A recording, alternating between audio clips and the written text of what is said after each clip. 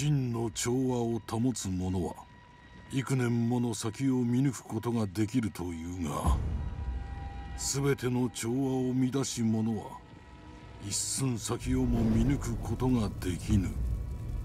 一歩一歩進むのだ。気を抜くでない。一寸先を感じ取り己が選ぶべき道を知れ。息を満たし放つのだ。己が心を開け。邪念を鎮めるのだ広樹侍ならば心得よ。幾度も同じことを繰り返しております。先生何故にこうもせねばなりませぬか。侍とはいつまでも型を極めようとする者。さあ邪念を鎮めよ息を満たし止めよ。向かい合いし者の意図を汲み取るのだ。気を散らせば死を見るぞ。今一度初めからだ。はい先生。手ほどきするは学ぶこと。故に今日は我が先を行こう。間合いを開けよ。しかと見よ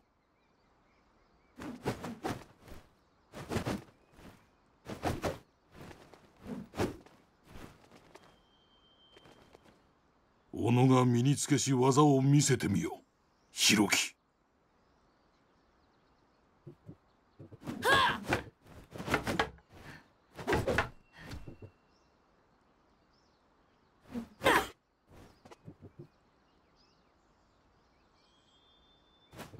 目を離すでない。一時たりとも相手に背を向けてはならぬ。刀を振ることしか知らぬ者の先は見えておる。守りを固めるのだ。防げ広き。防ぐのだ。相手の気力がそがれるのを待つは愚か者のすることぞ。風のように動け。さすれば刀にとらわれることはあるまい。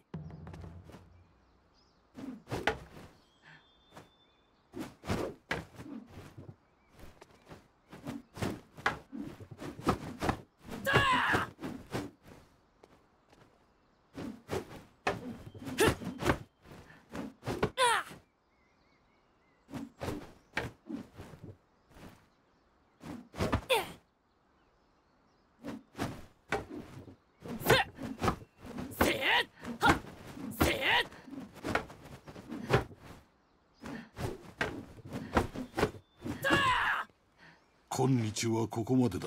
明日は三十郎様。三十郎様。一大事でございまする。広樹ここにおれ。されど修行を忘れるでないぞ。己が死に従うのだ。常にな。広樹無事でおれ。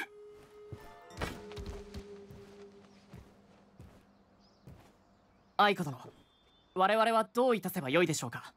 父上があれほど案ずるとは気がかりでなりません。何があったのか明らかにせねば。されど先生は？これはお稽古よりも大事でございます。参りましょう。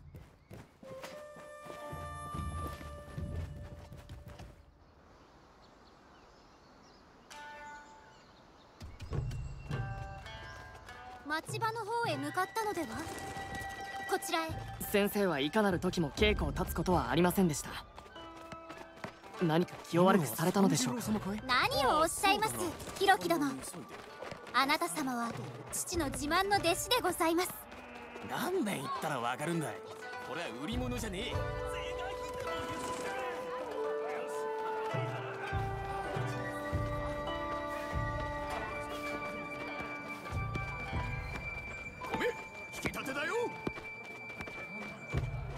広樹殿。愛子様へ一つ手土産でもいかがかな。この老いぼれの荷車を動かすのをお手伝いいただけませぬか。三十郎様がかけてきたのに仰天してしまい水承知いたしました。先生はどこへ向かわれたかご存知でしょうか？かたじけのうございます。三十郎様はものすごい速さで上に上がっていかれました門の外で何かあるようでございますな。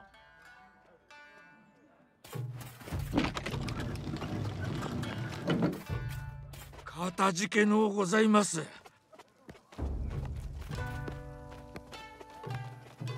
何を気にかけているんだい？こんなとこじゃ何も起きねえじゃねえか。それで困ってんのさ。商売上がったりだ。なんとか間違いねえ。賊が森の早道がございます。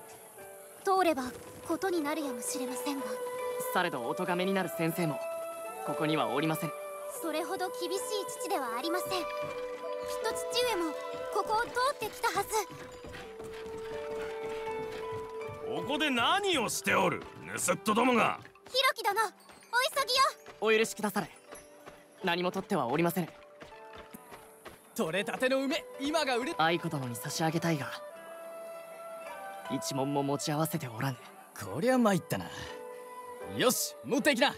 銭はいらねえよ。かたじけない。明日また買いに戻りまする。必ずや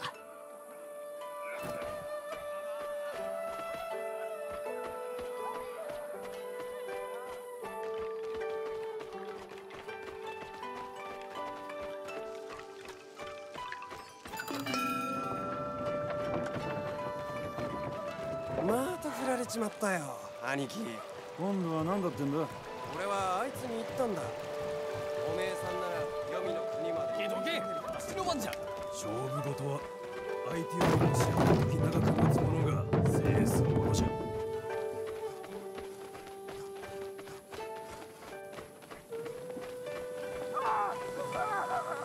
ひろき殿今のは何者かの叫び声でしょうか？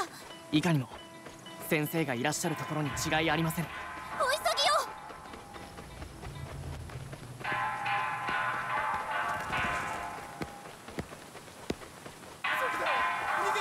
逃げろ。何者かの襲撃です。ひろき殿。それがゆえに父上はあれほど急いで拙者から離れませぬよ先生を見つけねば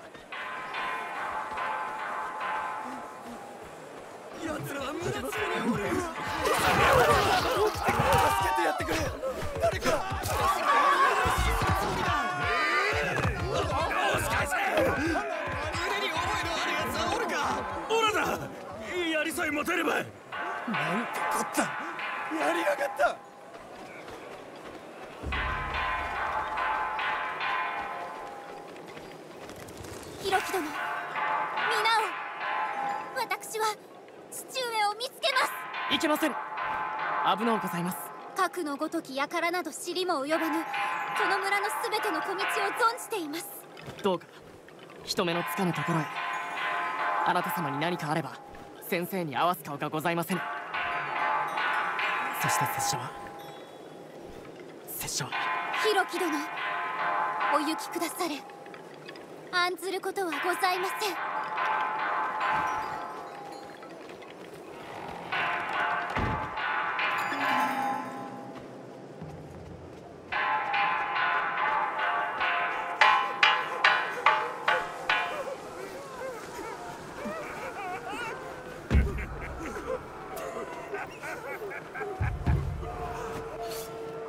さるか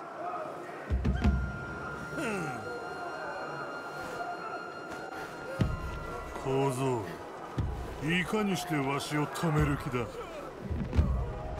拙者は侍じゃ。己を買いかぶりすぎじゃ